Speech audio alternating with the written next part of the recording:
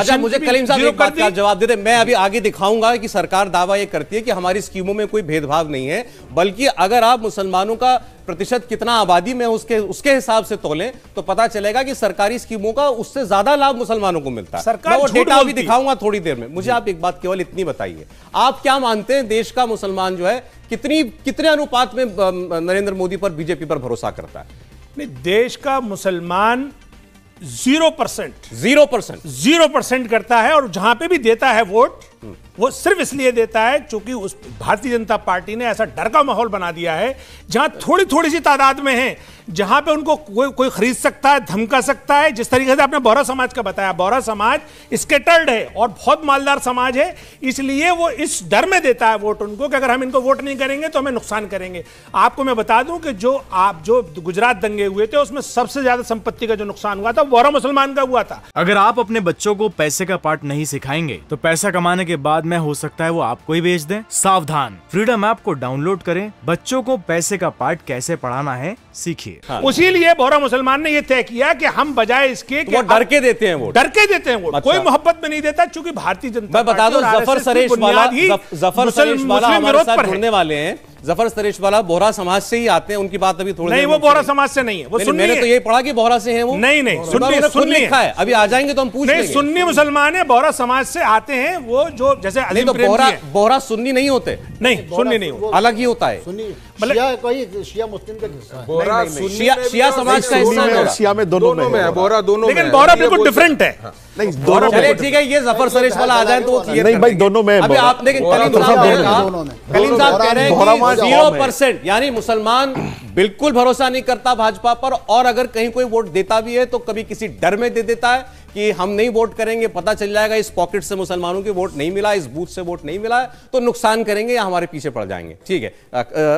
संगीत जी आ, पहले तो बहुत से लोग ये नहीं समझ पा रहे कि बीजेपी ये प्रयास जो करना चाह रही है क्या उसको वाकई लगता है कि मुसलमान का वोट उसको एक दिन इतनी तादाद में मिलना शुरू हो जाएगा जो कि उसके लिए कुछ मायने रखे कि भाई उसको कोई सीट जिता करके दे। देश के अंदर वाकई में एक ऐसा माहौल बने कि हाँ मुसलमान भी, बाकी समाज की तरह जो बीजेपी के साथ है, मुसलमान भी अब जुड़ गया है। क्या वाकई बीजेपी ऐसा सोचती है मुमकिन है? देखिए, दो बात दो तीन बातें मैं कहना चाहता हूँ। पहली बात तो कि सिया और सुन्नी के बीच का जो भेद है, वो कोई भारतीय जनता पार्टी का भेद नहीं है। लखनऊ में सिया और सुन्नी के दंगे तब भी हुआ करते थे जब कांग्रेस का राज हुआ करता था। पाकिस्तान में आए दिन सियाओं के मस्जिदें उड़ा दी जाती हैं और हज़ारों लोग मारे जाते हैं।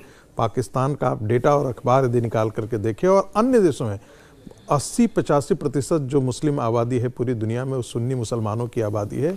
और यही वो आबादी है जो सियाओं पर जुल्म सबसे ज़्यादा करती है।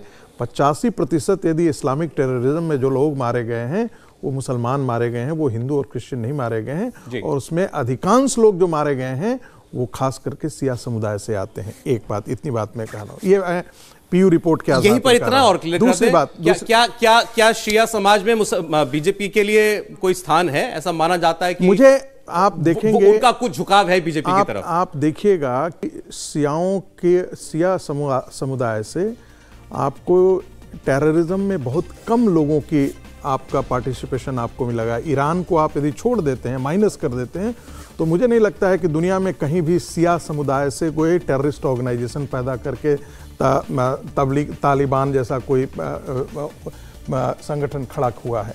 अगर आप अपने बच्चों को पैसे का पार्ट नहीं सिखाएँगे तो पैसा कमाने के बाद में हो सकता है वो आपको ही बेच दें। सावधान फ्रीडम ऐप को डाउनलोड करें। बच्चों को पैसे का पार्ट कैसे पढ़ाना है सीखिए।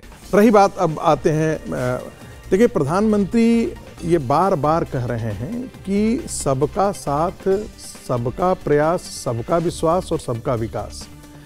देखिए, भारत जैसी आबादी में कोई भी हिस्सा यदि पिछड़ करके चला जाता है, चाहे वो हिंदुओं का हिस्सा हो, चाहे वो मुसलमानों के बीच का हिस्सा है तो एक थियरी तो यह भी है ना कि वो यदि जो पंचर बनाता है, उसको यदि एक एक मौलाना, सामान्य मस्जिद का मौलाना ये सिखाता है कि देखो, काफिरों की यदि हत्या करते हो तो सीधे स्वर्ग चले जाते हो, जन्नत में तुम्हारा स्थान मिलता है।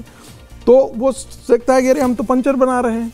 हम यदि दीन के लिए हत्या कर देते हैं, आत्म, आत्महत्या कर लेते हैं या मार देते हैं, किसी को उड़ा देते हैं तो उससे बेहतर है कि हम चले जाएँ। तो यानी कि वो फियादीन हमले की एक प्रकार की मानसिक संस्कृति खड़ा करता है। यदि उन लोगों को यदि आप विकसित करते हैं और जाकर के उनके बीच यदि ये समाज जाता है तो निश्चित तौर पर सुनो ने बहुत साफ़ कहा है, ये मत पूछना कि तुम्हें वोट मिल रहा है या मत।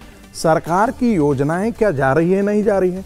इंडिया टीवी, हर वक्त, हर जगह। डाउनलोड करने के लिए सर्च करें India TV news, Google play store या एप स्टोर पर।